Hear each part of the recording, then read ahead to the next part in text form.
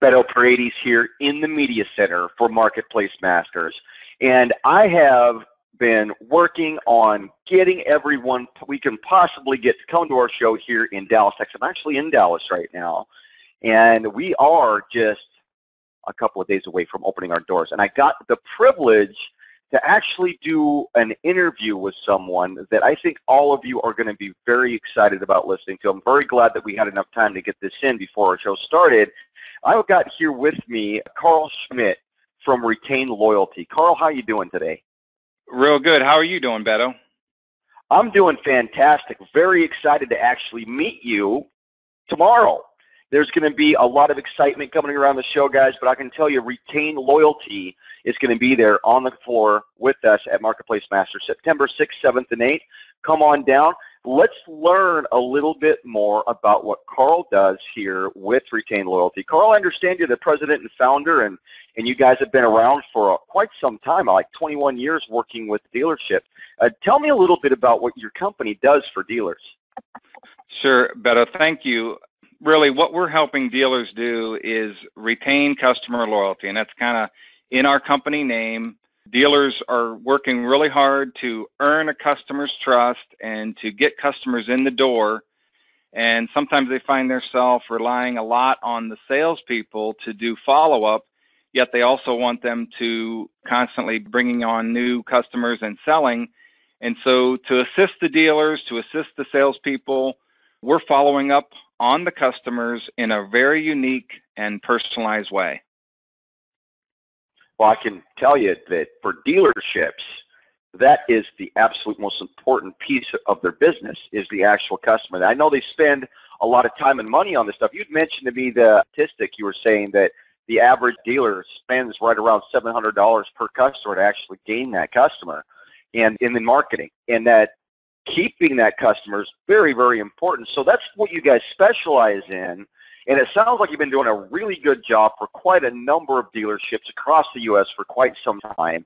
And to be in business for 21 years and to have the reputation that you guys have, dealers, listen, you've got to understand that in this industry, sticking around for that long and being able to work directly with dealerships for that time frame says a whole lot about a company. You uh, told me there's like four key areas that you guys focus on that, that really helps this retention for customers. Talk to me about that a little bit. Okay. With today's technology, a lot of it is is mobile and it's digital, and but yet dealers tell us a lot of it has gotten so far into the mobile and the digital that we've lost our personal touch. So we address both of those, and our follow-up involves both digital and as well as tangible aspects. So first of all, we follow up with the customer right from the time of the delivery. The salespeople use our iPhone or our Android app. They snap a picture of the customer at the time of delivery, which is the most important and most exciting event that takes place at the dealership and immediately the customer is going to get a photo text sent right to their phone and it's going to have the dealer's choice of review links right in that text so it really ups the number of reviews and positive reviews that a dealer can get on Google reviews or Dealer DealerRater or any of the different review sites that they would like to have programmed in there and their direct links. So starts out with a photo text, again, a personalized photo text, and then we follow up with the customer with a series of personalized photo emails. When the customer gets a thank you email from the system, it's going to, of course, come from the dealership, and it's going to have the customer's picture in the email. So immediately they know this is not junk mail. They're going to see the customers, they're going to see their picture, they're going to see their salesperson, they're going to see the dealer's logo and a direct link to the dealer's site, choice of review links in the email. It's actually a multi-channel email, and this email goes out initially as a thank you. It'll go out on their birthday, and the images change for birthday, for the different times of the year, spring, summer, fall, winter, holidays. These go out. Typically, there's an automated schedule of about six touches a year, and each of those can have marketing campaigns, service offerings to invite the customer back in. But again, compared to our big differentiator, again, compared to anything a dealer is doing today, is the personalization of what we do. And so when you have a multi-channel email going out to the customer with offerings, with a opportunity for them to push the send button of right at the top of the email, there's a send button that allows them to share their delivery photo to their personal Facebook page and promote their experience at that dealership to all their friends and family. And the dealers love that. We conveniently place that button on the email for them to be able to just really, real simple and real easy way to push that photo to their personal Facebook page. So again, we've got all of those things happening in the email. And then thirdly, we actually send out tangible, literal tangible postcards that have the customer's picture on the postcard. We actually have a patent pending on that. And they just don't get anything in the mail from the manufacturer or from the dealership that's got their picture on it. And the salesman that sold them the car's picture on it. And we also like to put the dealer's picture on there as well and the building photo where they should come back for service and where they bought their car. So there's so many fields. There's about 18 different areas of variable data on a postcard that we, I mean, it's a one-off card that we send out. They only get the, that card once. And those cards go out as a thank you. They go out for their birthday. They go out in the spring, in the summer, in the fall, in the winter, and it's the holiday. And there's actually about a three-year follow-up span from the time they buy the car that they actually get the tangible cards.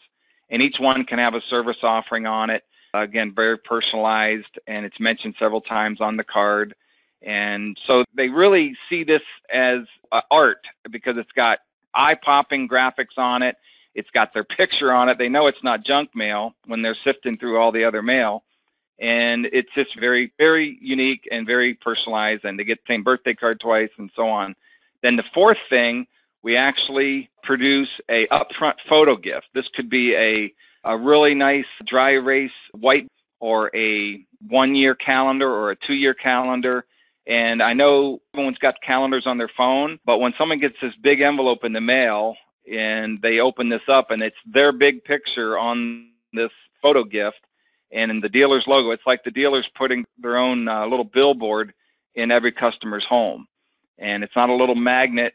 It's a nice size, a big photo gift that it is magnetized but uh, it usually ends up on the refrigerator or on the wall. So that's the four areas Beto that we address and the four elements to our follow-up. But again, social media is a big part of it. The review sites are a big part of it and all of that. Wow. That's a lot of different perspectives on exactly how to engage with a customer that's coming to the door and is now currently working with you. And I'm telling you, it is a big deal to receive physical things that they can actually keep with them. And the digital age itself has really blinded a lot of how that works. And you step away from your computers, you're not always on them, and there's so much noise a lot of times. I really love the approach that you guys take. In fact, some of the speakers that are coming have really emphasized the importance of being able to continue on both sides of that communication and retention to bring people in and to actually build referrals through that process.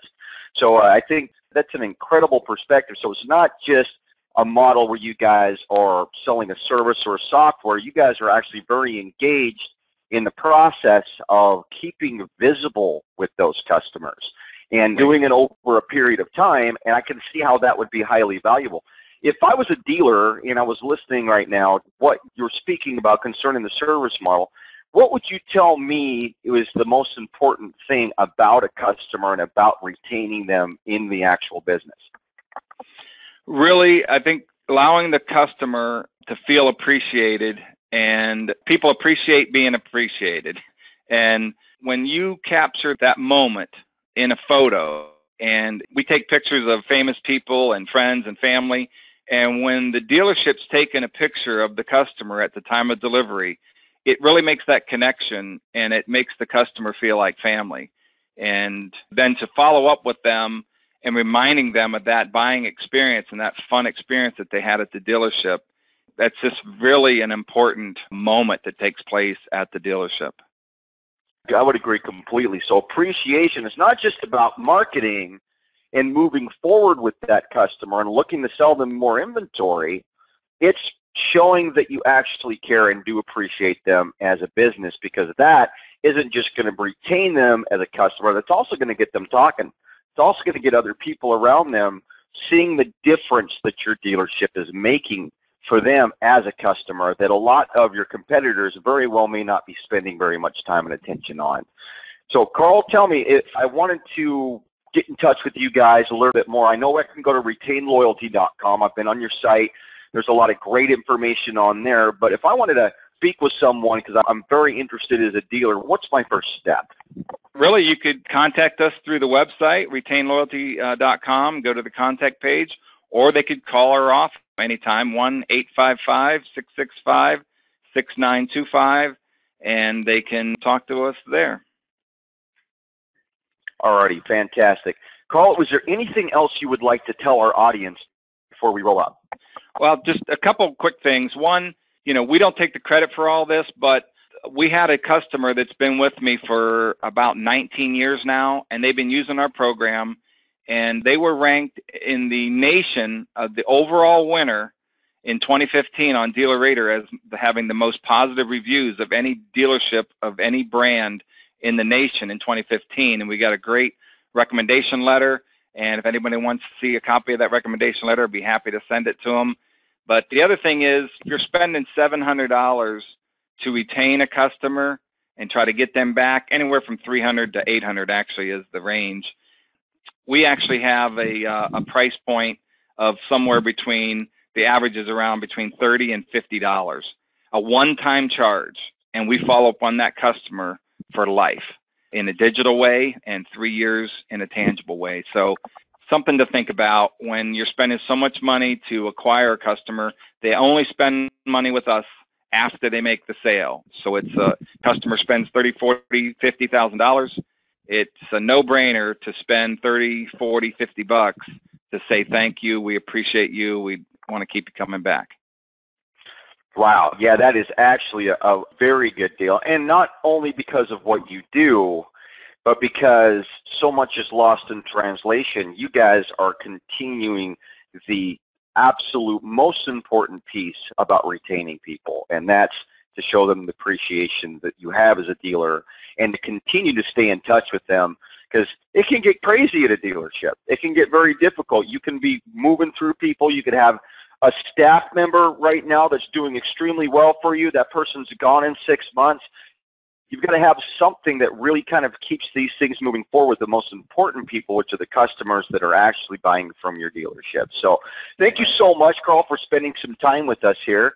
And I look forward to meeting you. Uh, most of the time I tell everyone I'm forward to meeting you in a few months, but I think I'm actually going to be able to meet you in person tomorrow. hey, Beto, so, I appreciate it. I'm looking forward to it.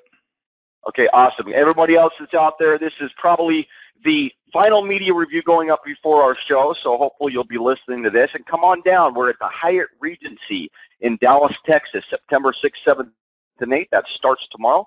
And Karl, I appreciate all of your time here with me today. You have a great, great rest of your day. All right, you too. Bye-bye.